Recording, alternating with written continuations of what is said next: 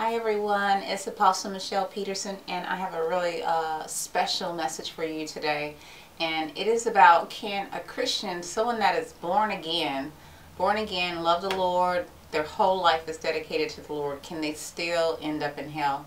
And um, I talked to the Lord last night when he gave me this. Um, he said yes and the reason is unforgiveness. So that is what we're going to talk about today. I'm going to share with you guys some of the things that the Lord actually said about unforgiveness. So if you are new to my channel, thank you so much for joining me. I am Apostle Michelle Peterson and uh, a little about me. I have been in uh, deliverance ministry over 10 years and the Lord has taught me so much about the spiritual realm and how things work in it. Uh, being in that type of ministry has drawn me really, really close to the Lord. And so because of that, um, the Lord has called me specifically to help other people get really, really close to Him and walk with Him really, really close. So if that's something you're interested in, learning more about God, um, getting free from all the things that the enemy uh, is attacking you with, please subscribe to my channel. And when you hit the subscription button, there is a little bell. Make sure you tap that button and uh, that's the notification button that you will get notified whenever I upload new videos every week. Okay, so the message today is a really powerful message. I have a lot of scriptures um, that I would like to share with you guys. We're going to be in Matthew talking about um, unforgiveness today. So we might say, why can someone that loves God, they're totally sold out for God, and they are born again, filled with God's Holy Spirit, and how can they still end up in hell? And um, you know, it's a sad thing, but this is what the Lord actually told me, all of these things last night, and I'm going to share with you. But let's go ahead and read some scriptures really fast. Okay, Matthew 6, 14. I'm just going to read two scriptures and then I'm going to give you guys the words that the Lord actually said. And then after this video, what I'm going to do, I'm going to pray for those who have been struggling with unforgiveness in your heart towards a person. Maybe it's someone that really, really hurt you when you were a kid, abused you, molested you. Um, maybe it's your parents, the way they abandoned you or treated you. Um, you know, maybe it's the enemy. Uh, I would like to pray for you. If you are a believer, I would like to pray for you that that is removed from your heart, okay? Because I'm going to share with you what the Lord said, how serious this is. So if we go to Matthew 6, 14, this is Jesus speaking here. We're going to read from uh, Matthew 6, 14 through 15. For if ye forgive men their trespasses, your heavenly Father will also forgive you. But if ye forgive not men their trespasses, neither will your Father forgive your trespasses. Okay? Um, and I'm just going to share a couple of words with you what the Lord said, and then I want to go back up to Matthew um, 18 and read a, a pretty good chunk of it um, just to let you see what the Lord is talking about here. But this is what the Lord said. I asked him about this. Why is unforgiveness, you know, a sin basically? And so this is what he said. The reason why unforgiveness is a sin is because they deserve to be forgiven. Whoever it is that hurt you, God said they deserve to be forgiven. So if you don't forgive them, that's why it is a sin because that person deserves it. They deserve to be forgiven. And I asked the Lord, well, why? Why do why do uh, people deserve to be forgiven? And so this is what he said, because we have sinned. Because you and me, we have sinned also. We've hurt a person, we've hurt God, we've sinned against God. We've did a lot of stuff. I'm pretty sure we've done something to hurt somebody's feelings, whether we meant it or not. And we definitely hurt God's feelings. Um, we definitely hurt his heart, you know. And but this is the reason why other people they deserve to be forgiven because we have sinned also. And if we don't forgive them, it's a sin. So I'm going to read about um, the parable of the unforgiven servant that's in Matthew 18, 21. So I'm going to read 21 through 35. Then came Peter to him and said, Lord, how oft shall my brother sin against me, and I forgive him? Till seven times? Jesus said unto him, I say not unto thee unto seven times, but until 70 times 7. Therefore is and then he goes into telling the parable, the Lord Jesus. Therefore is the kingdom of heaven likened unto a certain king, which would take account of his servants. And when he had begun to reckon, was one brought unto him which owed him ten thousand talents. But for as much as he had not to pay, his Lord commanded him to be sold, and his wife and children and all that he had, and payment to be made. The servant therefore fell down and worshipped him, saying, Lord, have patience with me, and I will repay, I will pay thee all. Then the Lord of the servant was moved with compassion and loosed him and forgave him the debt. But the same servant went out and found one of his fellow servants, which owed him 100 pence, not even that much money. And he laid hands on him and took him by the throat, saying, Pay me that thou owest. He's choking the guy. And the servant fell down at his feet and besought him, saying, Have patience with me, I will repay thee all. And he would not. The guy would not even have patience with him. He would not, you know, give him, give him, have mercy on him. He went and cast him into prison till he should pay the debt. So when his fellow servants saw what was done, they were very sorry and came and told unto their Lord all that was done. Then his Lord, after that he had called him and said unto him, O thou wicked servant, I forgave thee all that debt because thou desirest me. Shouldest not thou also have compassion on thy fellow servant, even as I had pity on thee? And his Lord was wroth and delivered him to the tormentors till he should pay all that was due unto him. Now, I'll tell you who, um, well, I'll read the last one. So, likewise shall my heavenly Father do also unto you if ye from your hearts forgive not every one his brother their trespasses. Now, how powerful is this? Now, this is what the Lord told me. The tormentors, when you are turned over to the tormentors, when you keep unforgiveness in your heart, you are turned over to the tormentors. The tormentors is Satan and his kingdom. That's what the Lord said. That's who you're turned. That's who the tormentors are. You're turned over to them. And so the Lord Jesus in 35, verse 35, he says, the same way this fellow servant was turned over to the tormentors, the Lord Jesus said, so likewise shall my heavenly Father do also unto you if ye from your hearts forgive not every one his brother their trespasses.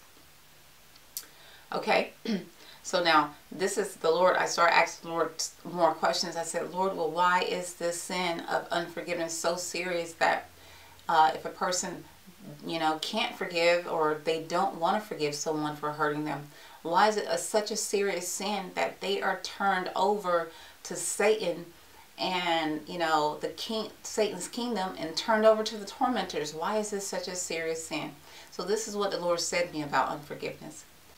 The reason why unforgiveness is a sin, he said, is because it is evil.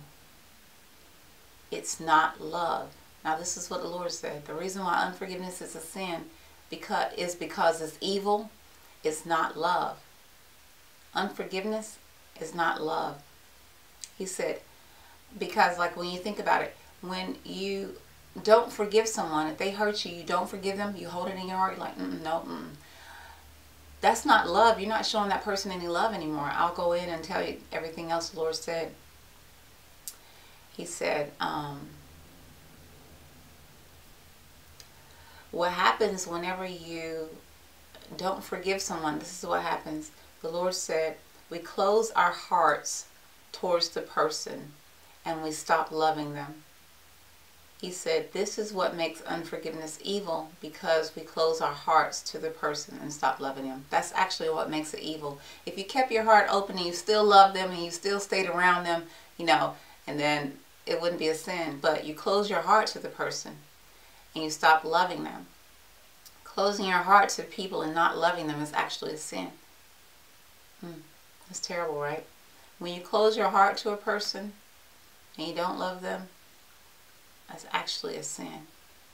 Regardless on what they did to you, when you stop loving them, that's a sin. Now, the Lord said, everything that we do that is not love, everything that me and you do, and every person in this whole world, everything that we do that is not love, is a sin. Everything. Every time you do something that is not love, it's a sin. And this is what the Lord said. This is basically the definition of sin. Everything we do that is not love is a sin. When you're doing these things to people and God, this, this is sin. You're sinning against God and you're sinning against people.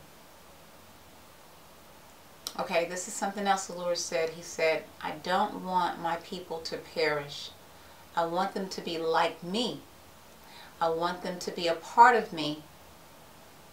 I want them to walk with me. I love them.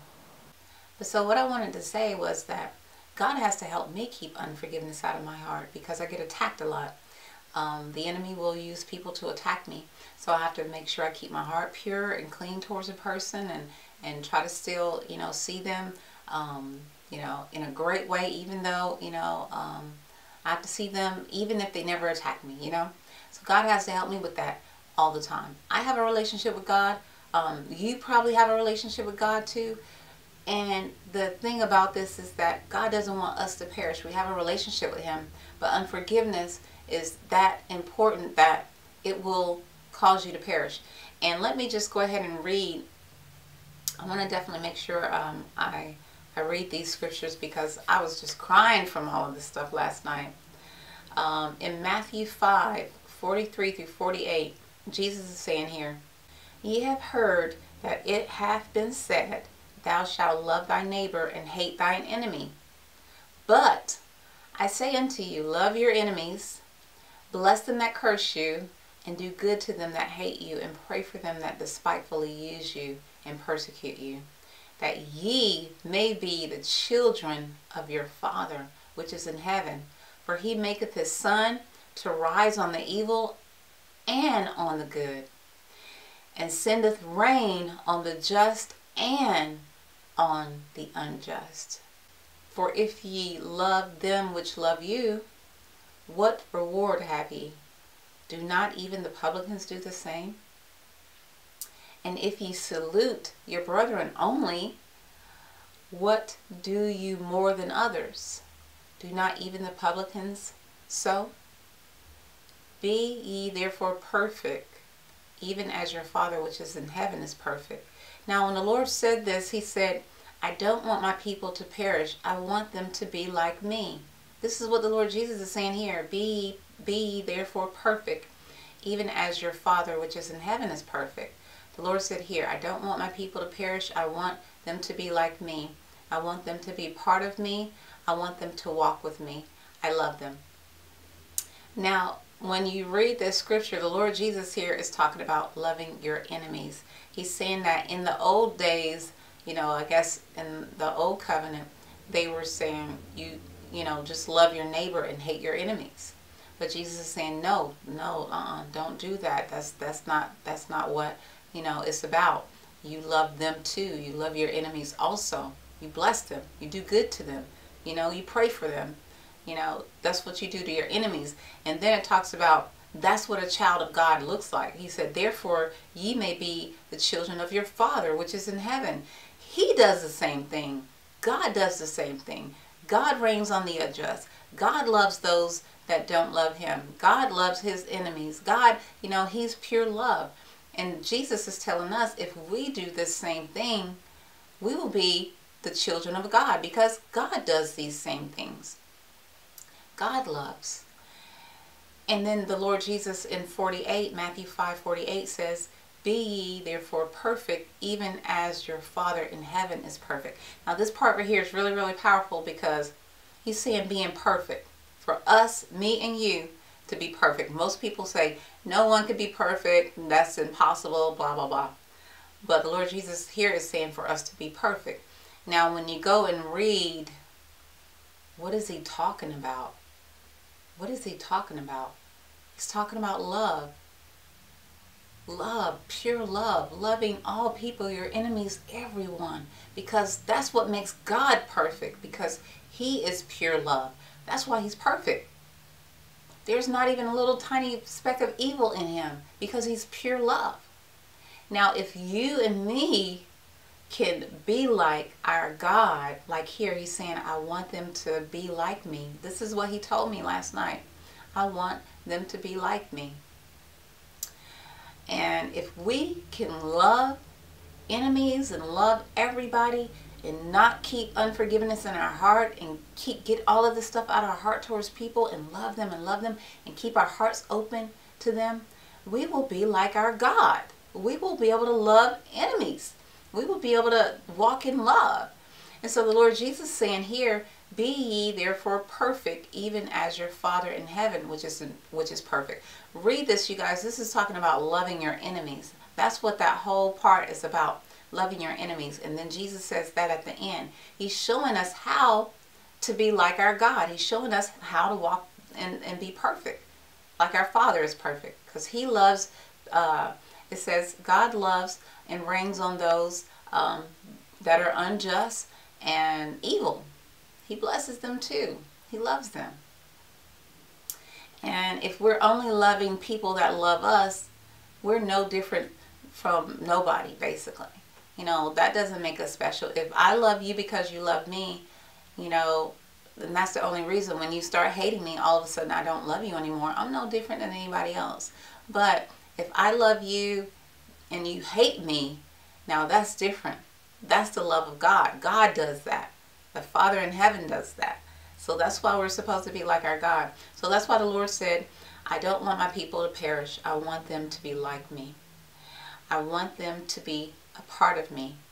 I want them to walk with me because I love them. He said, I love them.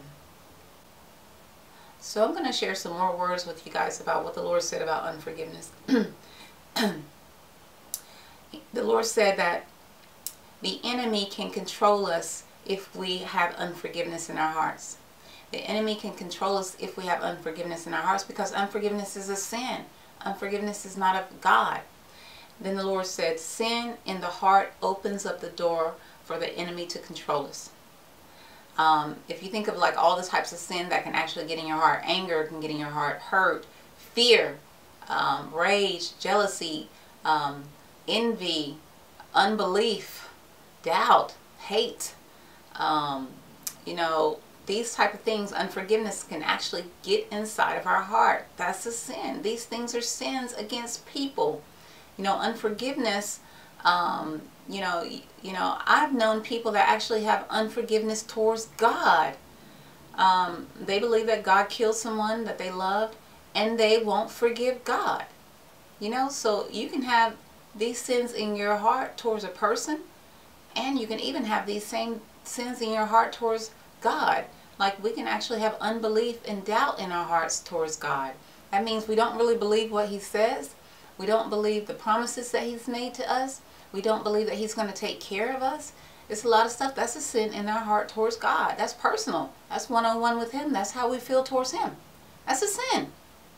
And because we have these sins in our hearts, the enemy can control us. He can do a lot with us. You know, he can totally have our minds just totally focus on the negative. There's so much stuff he can do. He can come in and start attacking us when we have sins in our heart. So the Lord said, um, the enemy can control us if we have unforgiveness in our hearts because it is a sin.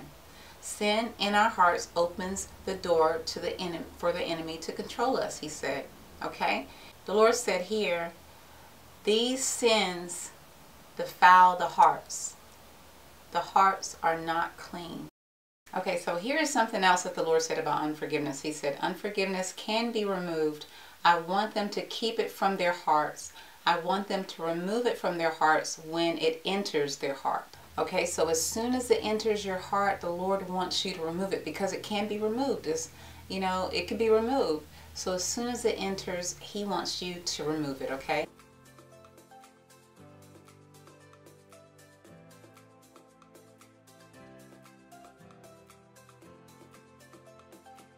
I want you to go before the Lord. Take each name, just start with one person at a time. Don't do the whole list. There's no blanket prayers for this. You have to be specific with one person at a time. Take that one person, that first person on the list, and repent. Repent to God and say, Heavenly Father, I ask that you forgive me for allowing unforgiveness towards uh, Mindy to enter into my heart, Father. I ask that you forgive me. I repent for allowing it to come into my heart. I ask that you forgive me, Heavenly Father, in Jesus' name. Then what I want you to do is ask God to remove all the unforgiveness towards that person, towards Mindy, out of your heart.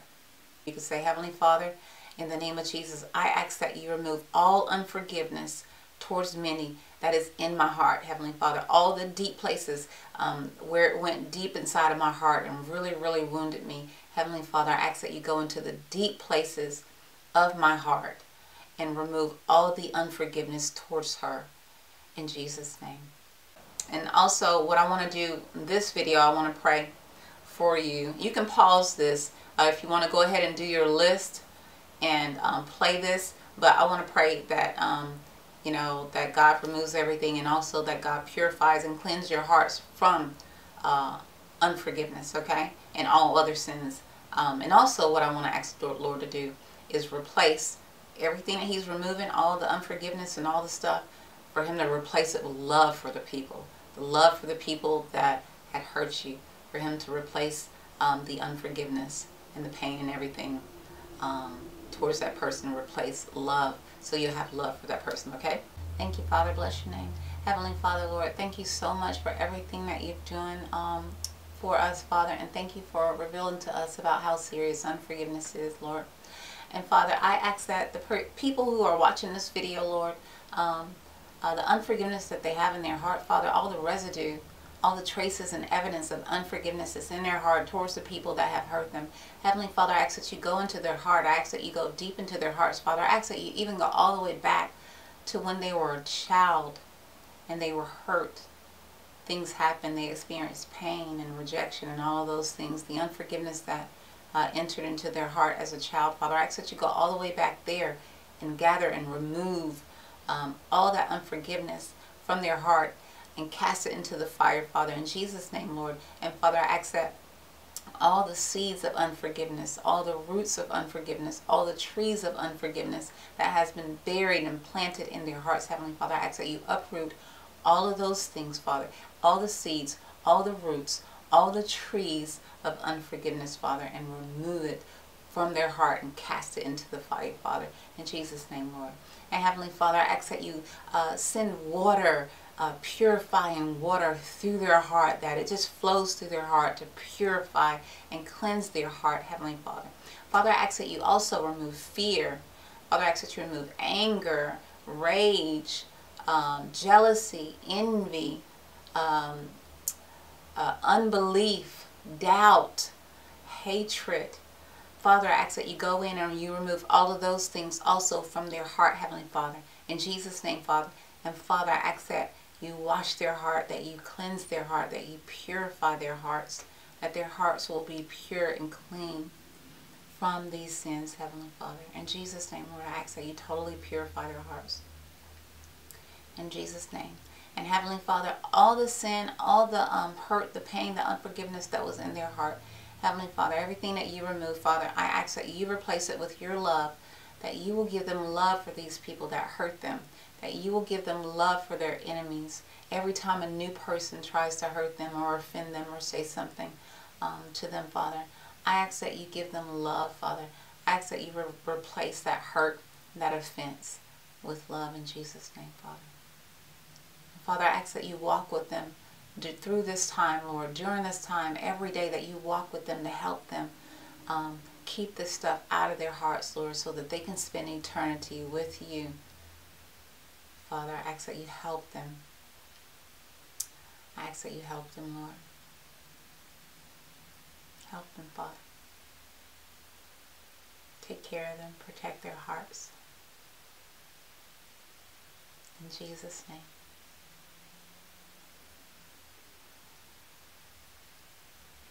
Okay, you guys. This message is really, really powerful um, because it just lets us know certain things are not as I guess we may think certain things are not really that serious that it can't stop us from getting into the kingdom of heaven but um, these things in our heart we can walk with God so close while we're here on earth and just those little things in our heart can cause us not to be with him forever for eternity. So it's a serious thing and like I said last night I was really really crying you know I was I was crying I mean it's just like Lord you know um, but this message is for you. Take it hold on to it um, you know and live this apply it every day. So I hope you guys have a blessed day and a great day. I'm going to do some, I'm going to record some more videos today. I'm going to try to get as many videos recorded so I can upload different ones. Um, but bless you guys and I'll see you in the next video.